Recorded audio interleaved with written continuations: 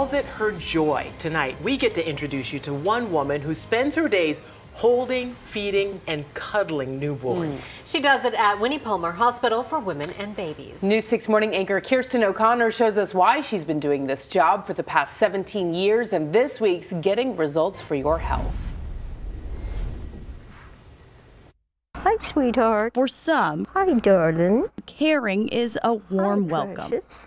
There we go. a hand to hold, or maybe a small snuggle. But for Pat Jordan, cuddling isn't just an act of kindness, We just let him know it's going to be okay. it's a calling. Or, or Gma or Grandma or. Wow, you have lots of names. I have lots of names. I have lots of jobs. Pat has six grandchildren and nine great grandchildren.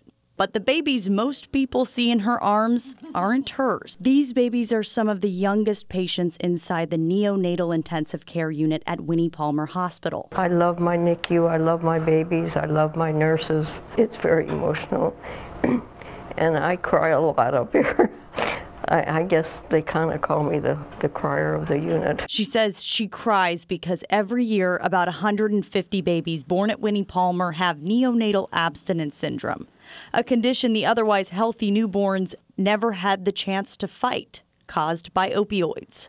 These systems, you know, mom system absorbs the opioids and then it gets into the babies, and the babies then have to go through what's very similar to a withdrawal. It's a increasingly large problem with our, our population. It's very, very difficult because, um, sorry, are very hard to take care of because they're extremely needy. And um, we just try to hold them tight and, and cuddle them and, and let them try to get over it. Dr. Douglas Hardy tells us in severe cases they have to treat these babies with more drugs. But people like Pat soothe and care for them. Just being held by a volunteer is a tremendous improvement.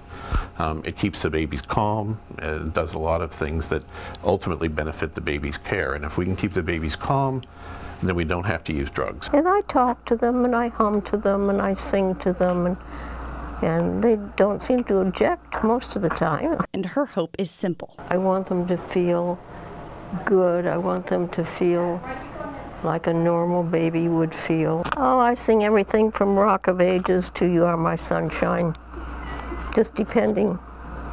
We have a whole repertoire. I want them to feel happy like my grandchildren are happy and, and uh, so that's the emotional part of the job. And whether it's singing or shedding a few tears, Pat will always be known for her cuddling. Think you'll you'll just keep coming back? As long as they'll have me. She is a little Yes. gem. Oh yes. my, I want to mm-hmm. hold Miss Pat. I right? just hug her. Yeah, I love that. And you know, we've seen the studies all the mm-hmm. time how babies respond when they're held and they Oh, to have touch, that skin to skin even, you know, interaction. I mean, as So- adults, we like that as well. Of well. course, so imagine just a being little cuddled baby. and yeah. comforted. A friend of mine Wonderful. had her babies there, and she remembers Miss Pat and was talking about how wonderful Oh, that's so awesome. Nice, Yeah. yeah. we love you, Miss Pat. Mm-hmm. All right.